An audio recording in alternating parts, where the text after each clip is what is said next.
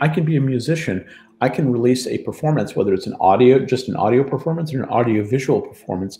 I can say that there's only a hundred of these recordings in the world, right? That are cryptographically stamped, and these are my recordings. There's only a hundred of them, and I can sell that, and then those can be resold over and over again through the perception of a through the collector mindset and the collector mentality. Mm-hmm. And I am generating revenue for myself every time that changes hands, and that's that's amazing.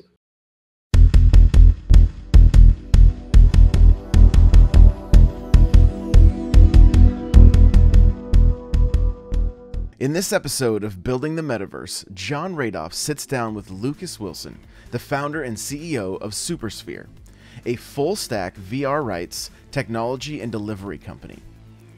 They focus on connecting fans with the things they love through the medium of immersive entertainment. And some of their recent projects include live VR broadcasts with Billie Eilish, Post Malone, and Kid Cudi. Let's jump into this fireside chat. All right, Lucas, thanks for joining me on Building the Metaverse. This is really exciting because music is one of my favorite things. I know it's probably your favorite thing.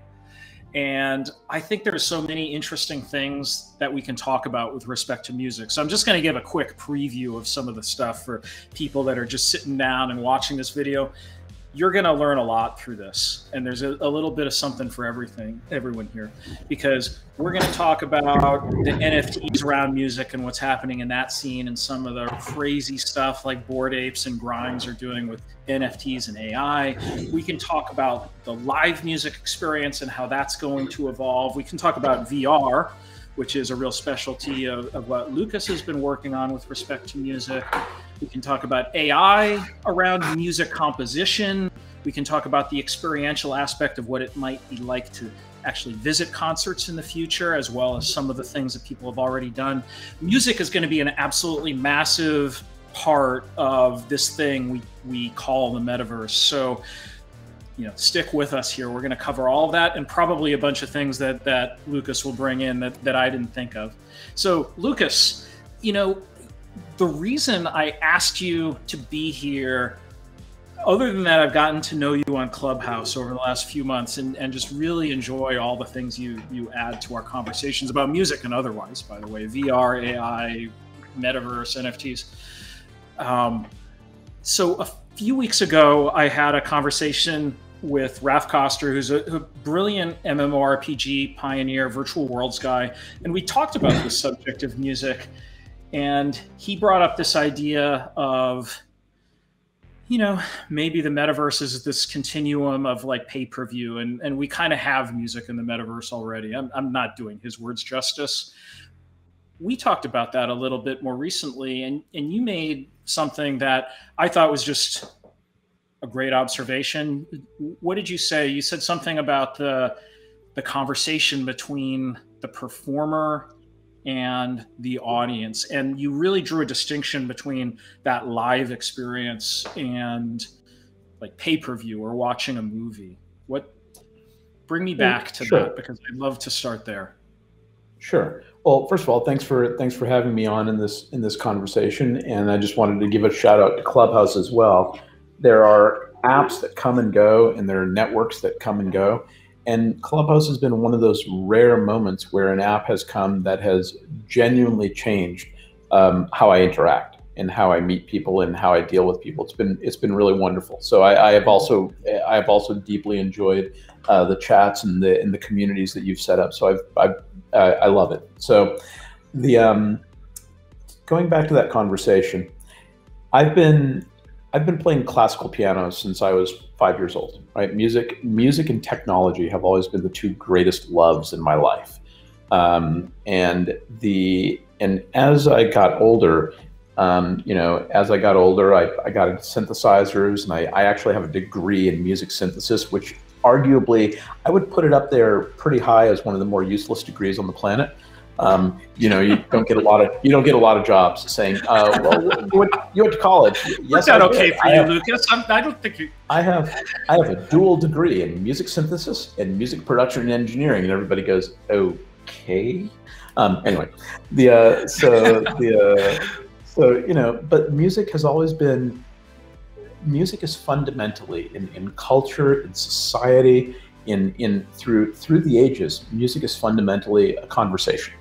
Um, it is it is a social it's a social conversation of of someone who has an idea to express that they don't express in language that they express in some other way, and the response between that expression and the audience who's consuming that who's consuming that expression and the and anything I keep my eye as I as I sort of constantly scan the horizon for new and cool technology, I keep my eye on anything that can increase the that can increase the connection between a performer and the audience, or between a fan and and and the and the thing that they love, right?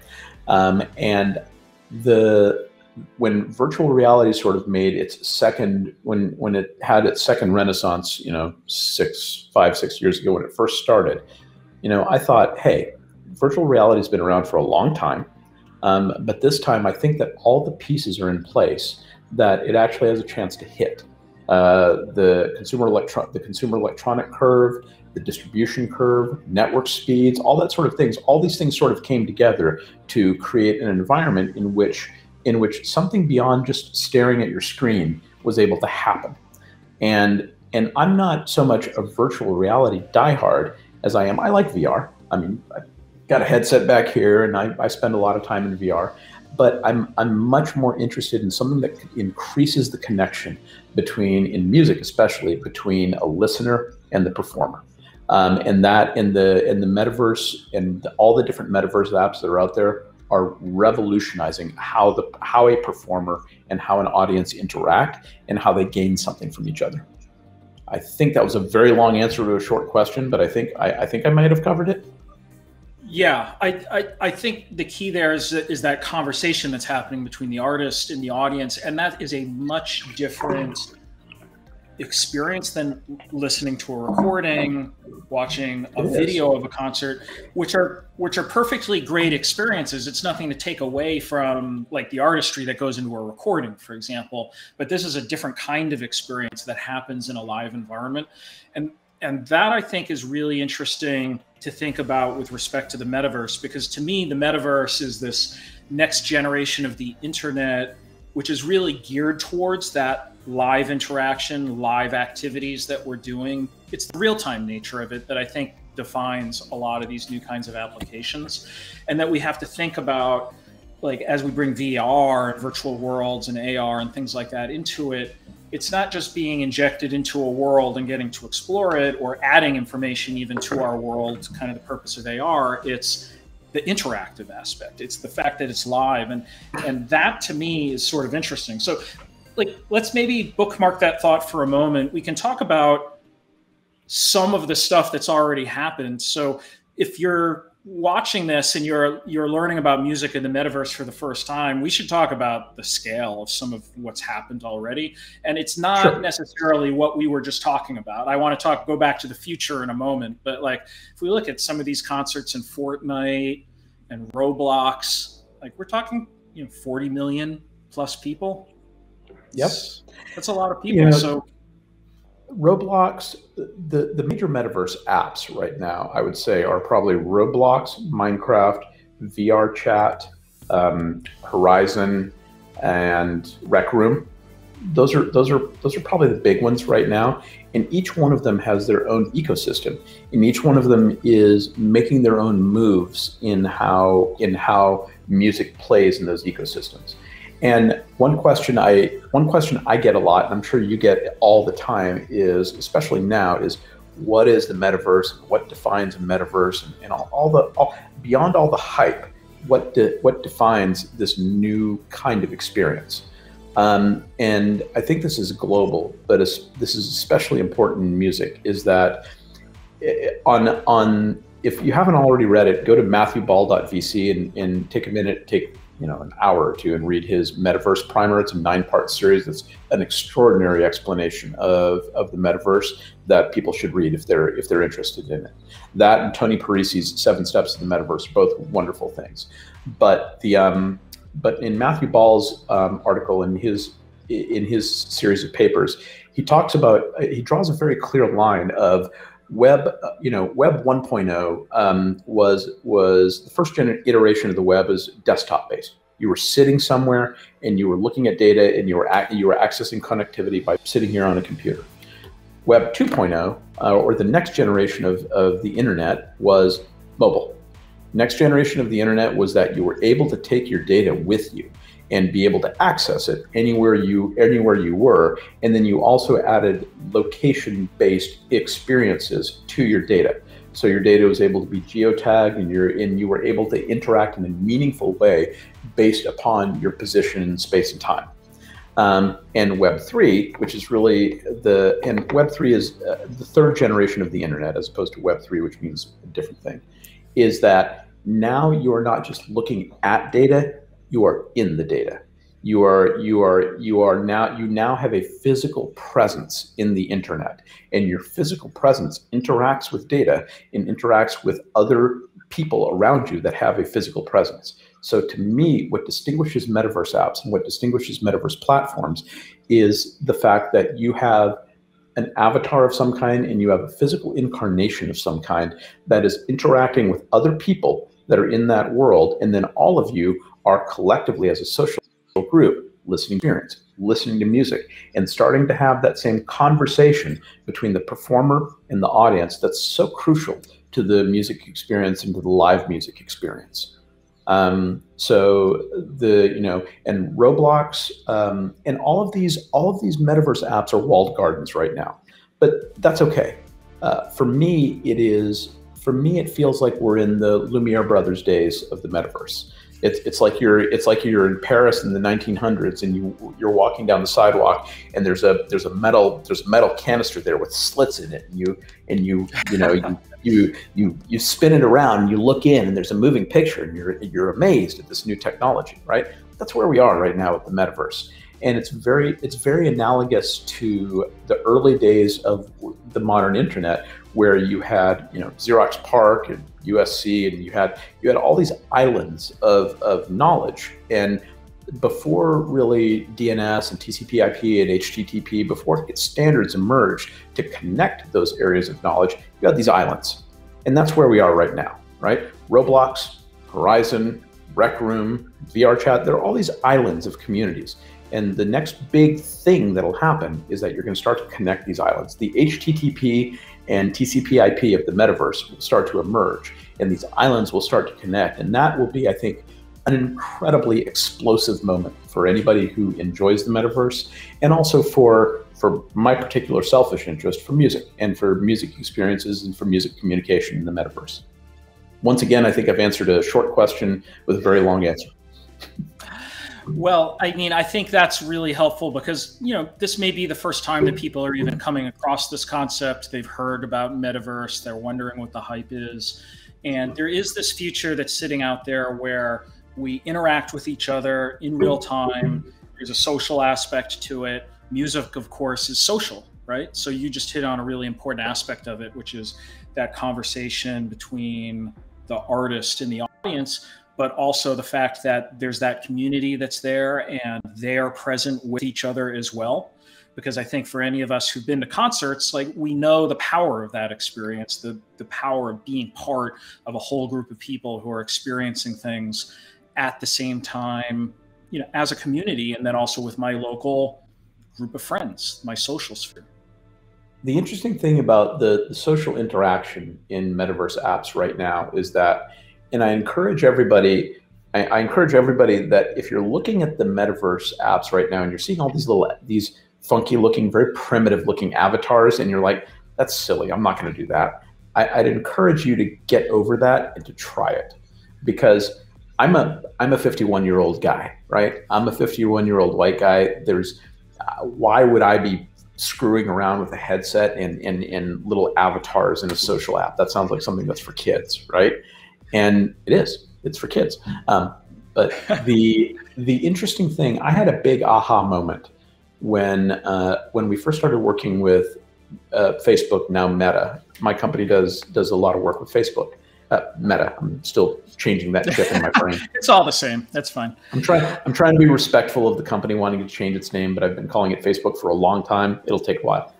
Um, so when Venues, which is Facebook's uh, metaverse platform for live experiences, and we've done a lot of work in venues. When when venues first launched a couple of years ago, and we went into when I first looked at the platform and I was seeing the screenshots before it really launched, um, I was like, well, that's goofy. Why, why the hell would anybody do that? I was like, but hey, it's a gig. It's a good opportunity. Let's march down. Let's march down the road and see what happens, right?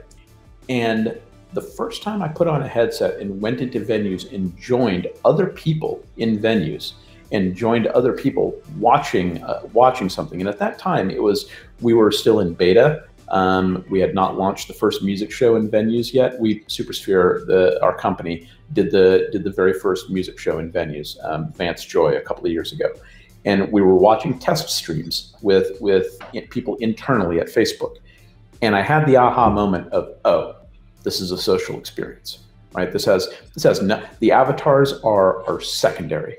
The the and the avatars will technology for avatar creation will continue to grow and that'll continue to evolve and that'll be fine. This is a social experience.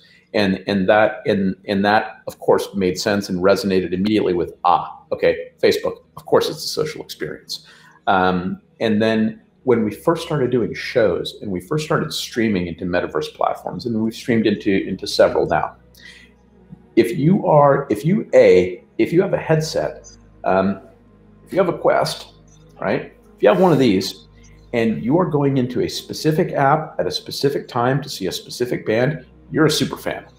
Um, you're the you're you just are right. You're you're a super fan. You have you are in an elite qualification of fan for that experience. Whether you're a fan of the technology or whether you're a fan of the artist or both, you're a super fan. And if you're a super fan, you're psyched to be there and it's it's the weirdest thing, but it hmm. makes sense at a, as a social psychology standpoint. When you step into that audience and everybody's there waiting for the show to come on, you have that same you get that same sort of personal response you get that same sort of feeling when you go into a live venue and and everybody's there and kind of buzzing and waiting for the lights to go down and waiting for the band to come on obviously you don't have you don't have the smells, you don't have the same sort of electricity in some ways that you do in a, in a live show, but you you recapture a lot of that excitement, and a lot of that feeling. And when the lights go down and the band comes on, all the avatars throw up their hands and it's and it's at, at the same time it's silly and it's exciting because you see people jumping up and down, you hear the voices of people singing and you find yourself caught up in the experience. You find yourself doing the same things and it's awesome. It's it's it's it's music and it's experiencing music in a way that people haven't experienced it before and it's connecting fans in a new way. And it's also opening up the avenue, it's opening up avenues to see and experience music to people who for whatever reason can't get to the live venue. Either they don't live in the same city or they have a disability which prevents them from from going to that physically mm-hmm. going to a live venue or they have a disability in which whether it's neurodiversity or they have a disability that that the social component of being in all people and processing all those different emotions simultaneously is too hard and too overwhelming it opens up a world for people for other people to experience live music and it's that for me is incredibly exciting yeah, it opens it up to a lot more people, and it also lets us rethink the whole live experience too, in a, in what I think would be a more abundant fashion. Something I've mentioned before is just sort of like the reality that a concert venue is a piece of real estate, so you're stuck with the realities of three-dimensional physical space that we're in. In the metaverse, you actually can rethink that all over again. It, it doesn't have to be front row seats as rival goods to each other. In fact, you could even integrate the audience into the musical experience. You could have them on the stage. Like it, really, you do it any way you want. Like it, it seems like something people can experiment with quite extensively, and it's not going to to just be limited to the kind of a, like the VR version of the concert experience that some of us are already familiar with. I, I'm curious though, like how are you work with some of the most amazing artists in the world, like you should talk a little bit about that, but particularly I'm curious, like, what are the artists telling you? How are they approaching this as a new form of bringing their music to their audience? Sure.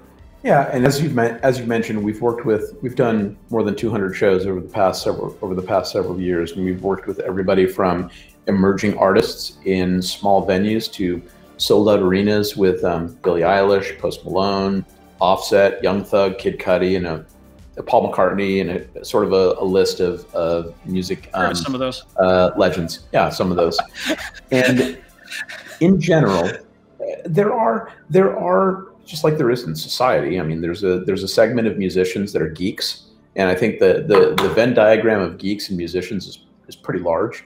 Um, so a lot of musicians, a lot of musicians that we deal with um, are already very familiar with VR. A lot of them already have headsets. A lot of them are already doing stuff, right? Um, you know, we worked with uh, we worked with Young Thug about um, about a year ago, and that dude is a he's a hardcore geek.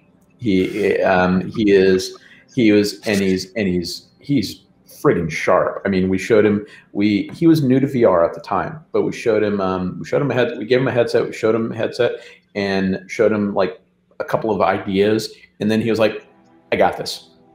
Y'all step away. I got this. And we're like, okay. And, uh, and sure enough, 24, or 48 hours later, he came up with an experience that we never would have thought of. And we are like, mm-hmm. well, that's why you're, that's why you're a highly paid art. That's why you're a highly paid professional artist. And I'm not, right. Um, it was, so the artists in general, um, if they're not familiar with it, we typically give artists a headset that we work with because we want them to be familiar with the experience. Um, and be, and once they see it, to, to and I can I can say this I can say this honestly that every single artist that we've worked with, once they see it and once we show them the work that we do, they're like, I get it. Okay, cool. And then they want to get into it and then they want to figure out okay how do i connect to people in this new way? Because for them it expands audience right? They they fundamentally got into the music industry because they want to communicate. They want to com- they want to spread their art and their music to an audience. And they and this is a new way of communicating and some of them some of them go deep. And so in general artists and musicians love it they just see it as a new way of as a new way to communicate and a new way to reach out to fans um, some of them are, there are some artists that have a very antagonistic stand to um, anything that's not a live in person communication. Um, you know, Father John Misty pretty famously calls out uh, Oculus in, in one of his in one of his songs. Um, and you know, there, there are some artists that that really don't like the aspect of separation. Um, but in general, I'd say that's a very that's a very niche group of artists.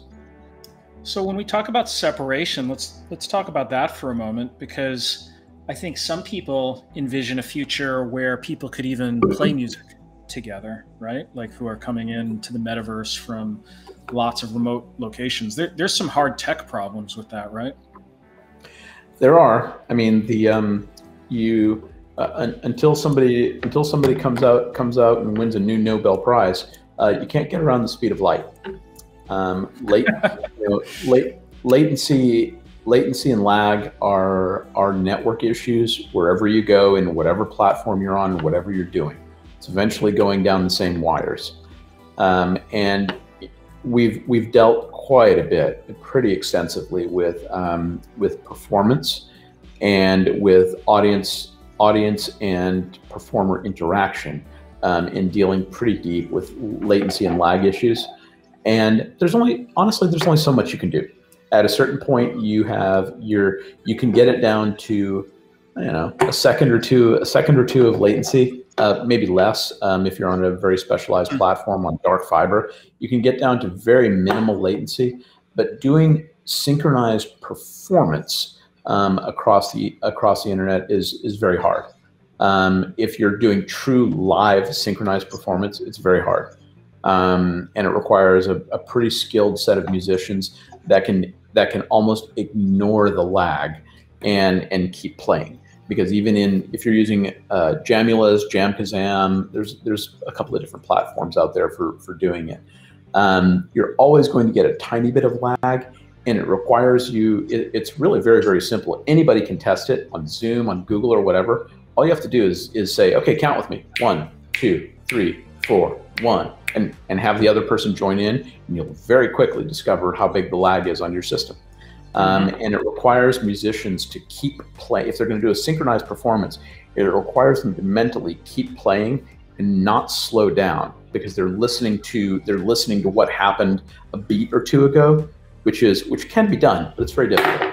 Um, in the sort of as a as a complete tangent, in the classical music world, um, uh, church organists um, are are masters of, of that particular kind of playing.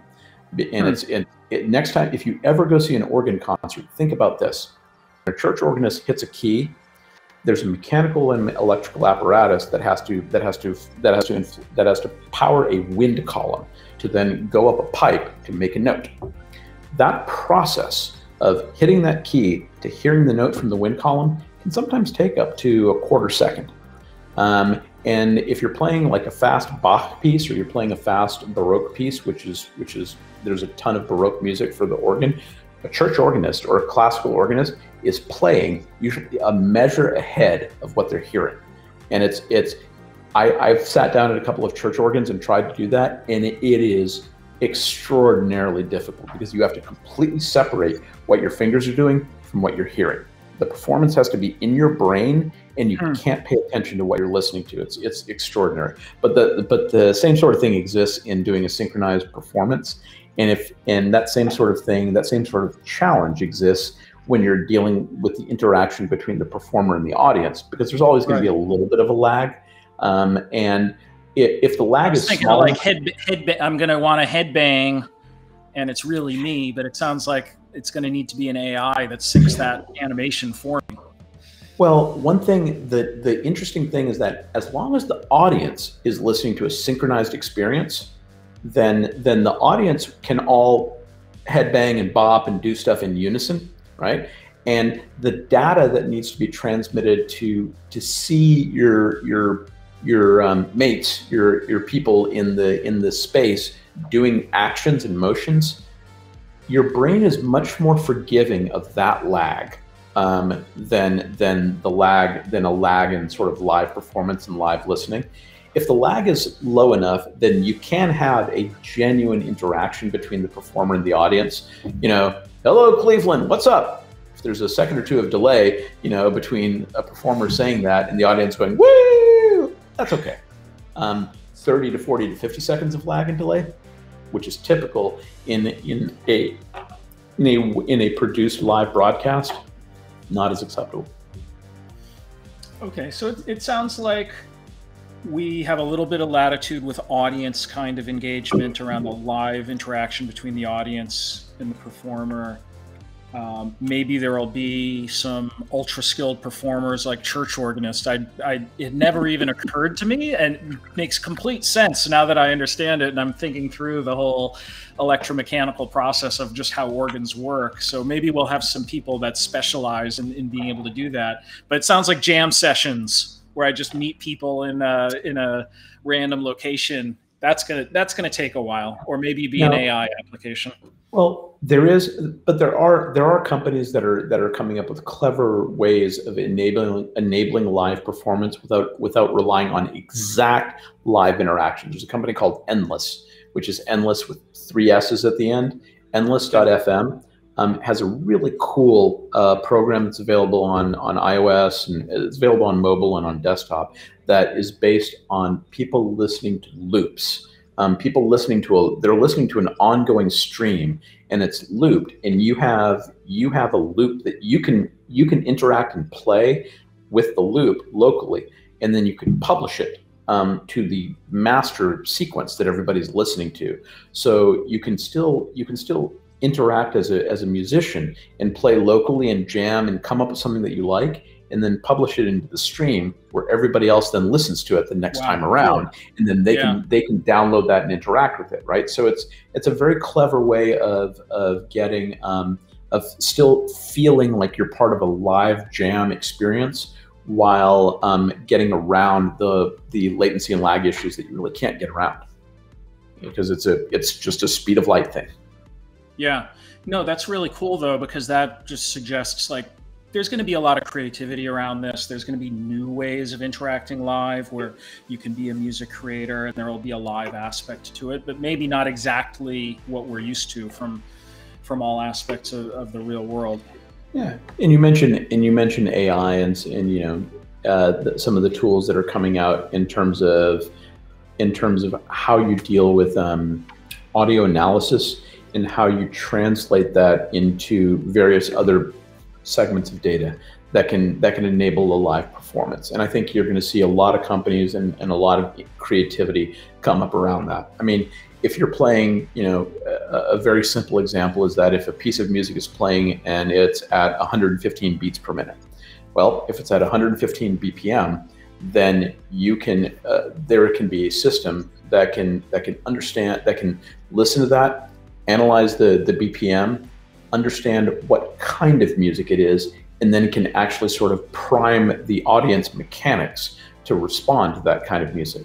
So maybe you have, maybe you're doing your own individual dancing or what have you, but all the avatars are sort of pulsing and moving at a baseline to that to that certain beat that is the music. So you still get the you get a feeling of sync of synchronous behavior while still having an individual layer on top of it, right? Mm-hmm. And that's just one example off the top of my head. There's a million others and a lot of smart people thinking about it. Yeah. Okay, so we've covered like some of the VR aspects of this, the concert experience, some of these new forms of creativity. Let's return back to the artists for a moment because there's some other stuff that isn't exactly music, but it's around music happening with like blockchain and AI. Like just recently, like two stories that spring to mind. Like I guess Grimes is going to be converting herself to an AI over time. She's she's going to have an AI girl band or something. I'm, there, and then the the craziest thing I saw recently, crazy I think in, in kind of a really interesting way is is uh, yeah the uh, apes were just signed to like form a band. It was Universal. Music Group. Yeah, Kingship, exactly. So like NFTs of uh, Bored Ape. Bingo. yeah. Bingo. So, you were the first person to say NFT. I was waiting for that. Yeah, um, there we go. All right. We, we don't shy right. away from NFTs on this series. no, it's, you know. Why the, should people care about NFTs with respect to music? And what is all this stuff that's going on with like Bored Apes? All right. Okay. Deep breath, sip of tea. okay. So as and I'm sure you experience the same thing as as a as a founder, right? Um, whenever any big wave of new technology hits your landscape, right? Whenever it enters into the fringes or smacks you in the face, at, you can at a personal level you can be like, oh, cool, shiny new object, let's go play, right? At a at a professional level, you have to you have to sort of look at that wave of technology and and try to understand what parts of it you need to pay attention to and what parts of it you need to incorporate into what you're doing and what parts of it you you need to ignore because it's not core to what you do and what parts of it are just annoying shiny objects right? And with blockchains and nft with block with the blockchain world and the nft world i went through that same personal process over the past year or so of of looking at it and diving into it and understanding what what blockchains what what value blockchain technology can bring to what we do, and then what value um, NFTs on top of that can bring to what we do. And you know, I came to the the block the advantages for for blockchain based distribution um, and blockchain involvement in the music industry is is huge. Um, there's there's no shortage. That's an entire other um, hour long discussion. Uh, we did our first blockchain streamed concert uh, with NFT drops on the Eluvio platform last week with the band Angels and Airwaves, uh, Tom DeLonge and Angels and Airwaves, and it was fantastic. It was fantastic. The Eluvio platform actually is is a, a, wonderful tool in that it is the streaming quality is is extraordinary, um, and the way that they've integrated uh, NFT experiences into a blockchain based stream and enabled an audience to participate is, is really nice. It's one of the first one of the first solid professional attempts I've seen at that in the industry. Um, but the reason why NFTs matter um, to the music industry is because first of all, you have to. Uh, I'll spend. I'll try to spend just a couple of minutes on this, and, and, and raise your hand and stop me if Go I'm going it. too far into Go the weeds. Okay. Um, so NFTs are are essentially I'll do I'll do a tiny bit of explanation before I go into music for people that are listening and, and are interested. NFTs are essentially for right now. Think of them. They do a lot of other things, but think of them at a starting level as a collector economy. Think of them as the phrase "digital baseball cards" has been thrown out a lot, and there there is some truth to that. In that it's the psychology of the collector. If you've ever been a collector of anything, stamps, coins, ticket stubs, matchboxes, cars, whatever, it doesn't matter. If you've ever had a collector's mindset, then then you understand um, scarcity and you understand rarity and you understand going after certain things in your specific bubble of collection collection and you understand why that's valuable to you and why that's valuable to other people in your community that's the collector's psychology and mindset. Something that may be worth um, $900,000 to you just, and to your community, and you may be able to sell it for $900,000. The world at large may look at that and go, why would I pay $5 for that? It doesn't matter because it's, it, it has value within your community. That has existed for forever in the in the physical world and in the phys- in physical marketplaces, right? Cars, uh, knives. Uh, I'm thinking of stuff that, that I like: cars, yeah. knives. Well, we've got the proto synthesizer, synthesizers, cameras, right? So we've got the whole so, proto NFT with Wu Tang Clan, right? Right. The Martin Shkreli so, collectible. I guess he had to sell it off now, but. Uh, so that, by the so way, in NFTs, we'll, we'll put something in, up in the corner because I had a talk with James Zhang recently, who's got a whole company built around like digital art concept, concept art house. Good, we'll, good we'll, people yeah, we'll throw a link up in that so you can go check out that as well if you want a deep background in NFTs. We covered a lot of that so, stuff, but sorry, cut you cool. off. So, uh, sorry, and, I, and I won't go too much. I won't go too much further into it. So the thing is, is that once you understand the collector mindset, then the thing that I needed, that I personally needed to wait for and needed to convince myself of, was okay. An NFT that's physical collection and physical scarcity in the culture at large, in the cultural zeitgeist at large, does the concept of digital scarcity have value? Do people care about digital scarcity? Um, if I say that if I say that I have a, a, cryptographically secure one of one piece, right, and it only exists in the digital realm, does the culture attach value to that? Do people attach value to that the same way that they do a physical a physical artwork? If I have a Bored Ape, if I have a one of one Bored Ape, is that have the same value to me and to other people as a canvas with with paintings of flowers from an old Dutch uh, an old dead Dutch guy, right? Um, and and so the and so I was waiting, and the answer, at least in this initial stage of the hype curve of NFTs, is is a resounding yes, right? It's, and the Bored Apes are a great example of that. You may think that you may think that the Bored Apes are silly. You may think, why would anybody want to buy some? Why would anybody buy something like that? think whatever you want. But the point is, is that it has reached a cultural milestone that it is a collectible and people value it as a collectible and people want it, right? Post Malone, Steve Aoki, Jimmy, Jimmy, Jimmy Fallon. I mean, one of the, I've forgotten which Kardashian, but one of the Kardashians, right? The, the, there's, there's, the cultural touchstones are now all buying Bored Apes and have created this aura of collectivity and scarcity around them that people now want them and and that it matters. And I was and once you see that start to happen, then you're like, okay, that matters. Great. So NFTs. So you've gone from the collector mindset to crossing the line to being a digital collector and having that matter. Why does it then now matter to the music industry? Um, a couple of things is that number one, now think about that as once you have the background of a physical collector and a digital collector, now apply that to music merchandise apply that to digital merch and music merchandise. Like, like um, just as a, except digital yeah. version. This isn't like a, this isn't like, a digital hologram. I'm actually no. wearing shirt. Like like your like your Zep like your Zep T-shirt. Or I'm gonna I'm gonna reach over here. Hold on. I'm gonna step out of frame for a minute, and I'm gonna reach over here and pull out my one of my favorite things is my I got this uh, a couple of months ago 180 180 gram pressing of run of RTJ4 Run the Jewels 4 right there okay. aren't that many of these. There aren't that many of these albums, and this matters to me, right? Yeah. If I had a cryptographically secure digital version of that, then that matters to me. I'm a collector, right? So digital merchandise, number one, is a huge avenue. Number two, the, the I think the most revolutionary thing for the music industry is the concept of the smart contract and how NFTs are built into smart contracts. Because traditionally, for artists, um, I have a thing, I sell the thing, and that's it. Then I sell the thing and I lose track of it, and I no longer have any hold of that, and I no longer have any way to track that, and I no longer have any way to make money from that. I no longer have any way to support a livelihood from that. The concept of the smart contract, for the for the first time ever that I can think of, creates the concept of passive revenue generation and generational wealth for musicians and for artists.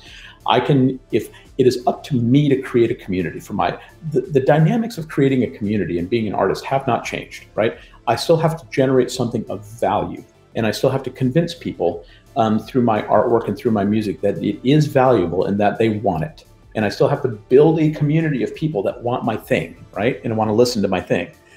But once I've done that, then I can release something that has value. People can buy it. And the way a smart contract works is that the, I, I receive money from that initial transaction, but I can put a piece into the smart contract that says every time that this is resold anywhere, I receive a small percentage of that secondary tertiary, and tertiary transaction forever. As that thing winds its way through blockchains and through the internet, I'm making money from that from that piece of content.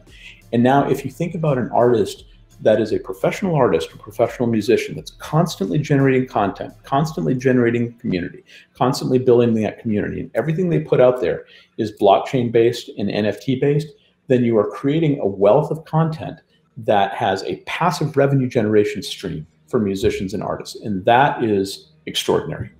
Um, and right, being because it's not to, recording anymore, right? It is the performance, and rec- other than certain artists, like recording has really decreased as a source of revenue for a lot of these artists. Right, and I can be a mu- I can be a musician. I can release a performance, whether it's an audio, just an audio performance, or an audio visual performance. I can say that there's only a hundred of these recordings in the world, right? That are cryptographically stamped, and these are my recordings. There's only a hundred of them, and I can sell that and then those can be resold over and over again through the perception of a through the collector mindset and the collector mentality mm-hmm. and i am generating revenue for myself every time that changes hands and that's that's amazing i mean you know if i have it's the equivalent of i have this album i paid i forgot how much i paid for this album it kind of doesn't matter to me because i'm a fan and i wanted it and however much it was I, however much it was i had enough money in my bank account and i paid for it right um, and but now I can take this. If I no longer want it, I can take it and go sell it. I can take it to a record store and go sell it. Run the Jewels. Run the Jewels doesn't make any money from this. If I sell it, if this is an NFT and I sell it because I don't want it anymore, Run the Jewels continues to make money from it, and that's that's a big deal. Yeah. So we we just looked at it through the through the lens of the artist and also kind of the collector. There's other reasons that like a shirt like this, for example, is valuable to someone. So as I think through it, like I'm thinking back to when I got it. So fortunately, I'm not quite old enough to have been to a Led Zeppelin con- concert, but I went to the Rock and Roll um, Museum in Seattle, and they had the shirts there, and I was like, okay, I want to get this shirt for a couple of reasons. One is I'm a fan and when I wear this shirt, I want to be identified as a Zeppelin fan, and, and that'll be a great conversation starter with people. And it's it's about personal expression, I think. And then another aspect is the story of it. Like as I wear this shirt, I'm remembering the time I visited the museum and the stuff that I did there, and, and the fun that I had, and the group that I was with. So I think oh, an additional tool that that some of you watching might want to bring into your, you know, tool chest of the metaverse about how to approach these things is also just how valuable personal expression has become through our digital presentation over the last couple of decades. Games and online world, social networks, I think that's trained all of us to try to ensconce ourselves in a bunch of things that say things about who we are, what we're interested in, and what could be more powerful than going to the virtual merch table at the concert that you actually attended in the metaverse and then you walk away with something that's interoperable and you wear you know t-shirt is kind of an example but there will be way more creative like versions of this. Like you could get tattooed with it. Like you could have an animation. Like this is going to be well, some cool stuff that reflects on my like personal expression And another thing that I think um, that professionals in this space, that adult professionals in this space need to keep in mind is that there's a huge generational mindset shift as well in terms of in terms of digital analog creation, digital creation, analog worth, and digital worth. Um, I grew up, you know, I, I, I grew up when I was when I was a teenager and I was when I was in college. Um, I grew up in an analog world, right? The internet was just starting to hit when I was in when I was in college, and phones were just starting to be a tool for the wealthy um, when I was when I was in college. Right? That's that's my formative that's my formative experience. My formative experience in terms of being a fan and being a collector is analog. My kids' formative experience in being a fan and being a collector is digital. And for them, the the worth of something digital and the worth of something analog, depending on the asset, depending on what they have, it's, fungible. Um, it's it, it it goes back and forth. I have a story that I've told a couple of times that I love as an illustrative example we did a um, we did a show with Billie Eilish, and you know, I, I one of my friend's daughters is is uh, in the running. It's stiff competition, but she's in the running for biggest Billie Eilish, world's biggest Billie Eilish fan, right? Stiff competition. she's in the but she's in the running, right? And I made sure that you know I told my buddy and made sure that that she was in the show and and got to see the it was a virtual reality broadcast. Made sure she got to see the show, and she was um, she was my buddy told me this uh, the next day and it was he and i talked about it for a while she was the cool kid at school the next day because she went and saw a billie eilish show in vr and in her brain the first show that she went to see was billie eilish um, mm-hmm. and kids came up to her and talked to her about the show and wanted to know about it she was everybody's had this experience of, of being mm-hmm. the cool kid or seeing the cool kid you were right? at the concert yeah, you were at the show. Like? Yeah, you exactly. were at the show. She at the school the next day. She was at the show, and she was the cool kid, right? And I was like, well, how about that? And that's a generational shift. That's a huge generational shift and generational mindset shift. So everybody that's that's that has any kind of gray in their in their hair needs to think about that. Needs to think about how you approach digital and how your kids approach digital and how the next generation will approach digital. When you think about NFTs, when you think about blockchain, when you think about digital collectibles, you may look at the board, you may look at look at the Bored Apes and go, "Are you fucking kidding me? Uh, why am I going to pay? I'm going to pay what for that? Are you are you high?" but but your but your kids are thinking differently about it, and the generation not, ahead of you yeah, people who have that reaction, it. they're not understanding how important digital identity, digital expression, and and also as you were pointing out, digital experience. I actually don't like to talk about like real versus virtual. I, I like to talk about virtual versus physical because yeah, I think they're both the... equally real uh, from an experience from from a relationship standpoint and everything else.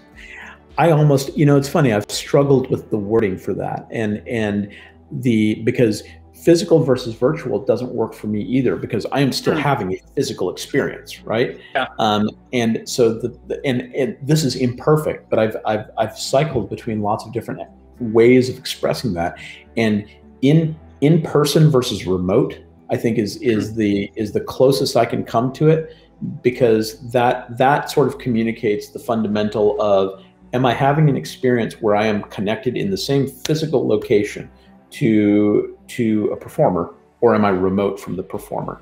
And that to me is, and then that's sort of the, the, the foundation. And then from there, I can build the technology of, okay, how am I experiencing this? Is this a YouTube stream, a VR stream? Am I, what's going on? Right.